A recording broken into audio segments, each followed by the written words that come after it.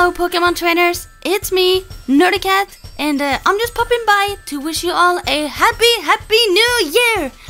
I cannot believe that we are about to leave 2019 and embark on a completely new and fresh year, 2020. And what a fun year that is, huh? 2020.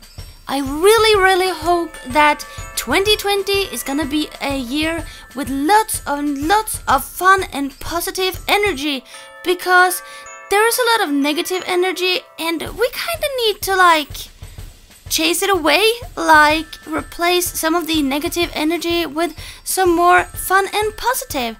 So I just want to say a few words to you all, and that is that I really, really, really, really hope that 2020 is gonna be an awesome year with lots of fun, lots of laughter, lots of love, and lots of learning and personal growth.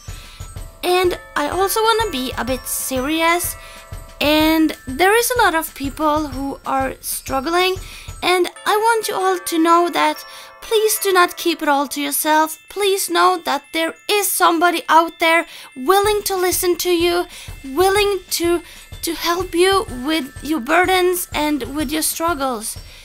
So please, please, if you are struggling, please find someone to talk to because there are people out there listening. So I really, really hope that in 2020 we can all come together and support each other and help each other out. So let's all do the very, very best we can to make 2020 a great and perhaps even awesome year.